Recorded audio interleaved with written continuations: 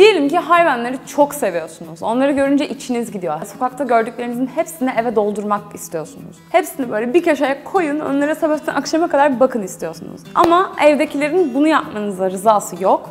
Aileniz ya da eşiniz hayvan sevmiyor ya da çeşitli nedenlerden dolayı evinde hayvan beslemek istemiyor. Biz de Patilio ekibi olarak evdekileri ikna etmeniz için birkaç ipucu vereceğiz. Bakalım evdekileri ikna etmek için atmanız gereken basit adımlar nelermiş?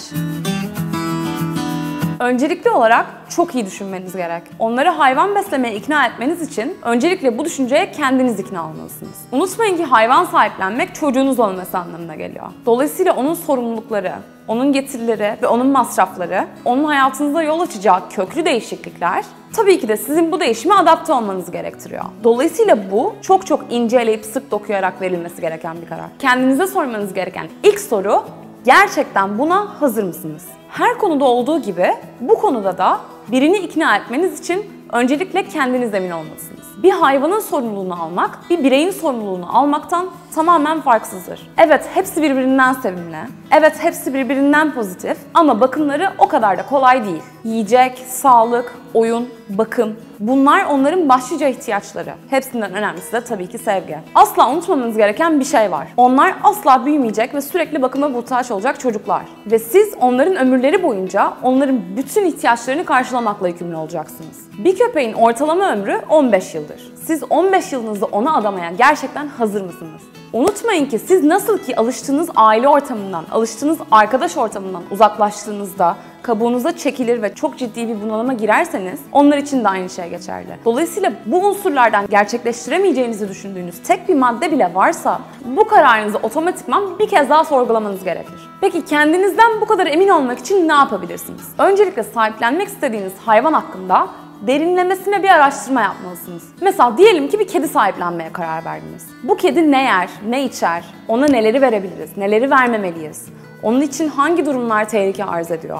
Tuvalet ihtiyaçlarını nasıl giderirler? Bir kedinin yıllık masrafı ne kadardır? Bütün bunları araştırıp çok iyi bir şekilde kavramanız gerekiyor. Aynı zamanda yaşam koşullarınızın sahiplenmeyi düşündüğünüz hayvan için uygun olması gerekiyor. Örneğin küçük bir apartman dairesinde yaşıyorsanız çok büyük bir köpek sahiplenmeyi düşünmemeniz gerekir. Derinlemesine araştırma yapmak hayvan sahiplenme fikrine karşı çıkan kişiye reaksiyon olarak daha sağlam ve daha savunulabilir argümanlar sergilemenize de yol açacaktır. Bir diğer önemli unsursa tabii ki bütçe ayırmak. Sahipleneceğiniz hayvanın masrafları için kenara para ayırın. Bu masraflar içinde onun maması, aşıları, bakımı, bunun yanı sıra ek olarak yatağı, oyuncağı ve tasma gibi opsiyonel aksesuarlar olacaktır. Sahipleneceğiniz hayvana bir bütçe ayırmanız karşınızdakini ikna etmek açısından da bir güvence olacaktır. Aynı zamanda sokaktan bir hayvan sahiplenip bir anda onun bütün masraflarını karşılamak sizi ve bütçenizi zora sokabilir. Biz bunun hazırlıklarını önceden yapmanız taraftarıyız. Unutmayın ki hayvan sahiplenmek eşittir sorumluluk. Evdekileri bir hayvana bakabileceğinize ikna etmek için öncelikle bu sorumluluğu alabileceğiniz konusunda onları ikna etmeniz gerekir. Maalesef bizim çok sık karşılaştığımız bir senaryo. Çocuk çok fazla köpek istiyor. Aile hemen gidiyor ona bir karne hediyesi olarak bir köpek alıyor. Çocuğun sorumluluk bilinci henüz oturmamış olduğundan çocuk ilk iki gün çok hevesli bir şekilde köpeği gezdiriyor, mamasını veriyor, suyunu veriyor. Üçüncü gün onu gezdirmek için vakit ayıramayacağına karar veriyor ve bir anda bütün sorumluluk illaki hayvan sahiplenmeye en karşı çıkan insanın üstünde kalıyor. Aslında barınaklarda ve sokaklarda çok fazla cins köpeğe rastlıyor olmamızın yegane sebebi bu. Aynı şekilde yazlık yerlerde işte Alaçatı'da, Bodrum'da çok fazla cins köpeğe rastlıyor olmamızın sebebi de bu. Köpeği alıyorlar yazlıkçılar, sonrasında bakımı çok zor geldiği için burada nasıl olsa bakılıyor diye tatile geldikleri belde köpeği salıyorlar. Bu tarz durumlarla çok sık karşılaşılıyor ve bunun gerçekten insanlığa sığan hiçbir tarafı yok bana sorarsanız. Özellikle yaşı küçük olan genç takipçilerimiz için bu adım kesinlikle uygulanması gereken bir adım. Kendinizden emin değilseniz ailenizi buna ikna etmeye çalışmayın. Evde çok keskin hatlarla bu fikre karşı çıkan birisi varsa onunla tekrar tekrar konuşun.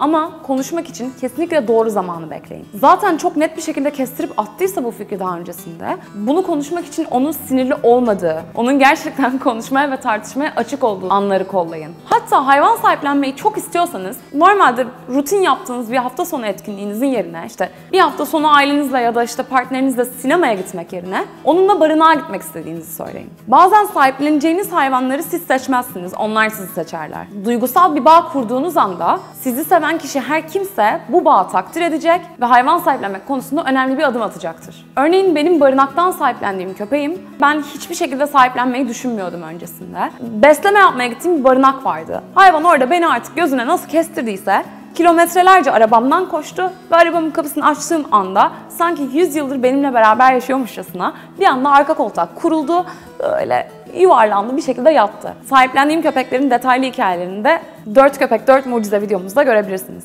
Eğer ev ahalisi barınağa gitme fikrine çok sıcak bakmıyorsa yine de opsiyonlarınız tükenmedi. Buna alternatif olarak evde hayvan besleyen birinin evine misafirliğe gidebilirsiniz. Bir şekilde küçük oyunlar çevirip ikna etmeye çalıştığınız kişinin sahibiyle evcil hayvanı arasındaki özel iletişimi yakalamasına özen gösterin. Hayvan besleyen bir kişi hayvanlarla ilgili endişeleri ve ön yargıları giderebilir. Unutmayın bu anlamda tecrübesi olan birisinin sözleri altın değerindedir. Özetle beraberce bir hayvanla vakit geçirmeniz ailenizin bu katı kararlarını değiştirmesinde çok etkili olabilir. Söylediklerimizin üstünden geçmemiz gerekirse hayvan sahiplenmek aileye yeni bir birey katmak demek. Bu videoyu izledikten sonra olur da her şey yolunda giderse ve ailenize yeni bir birey katmaya karar verirseniz lütfen alacağınız hayvanı satın almayın, sahiplenin.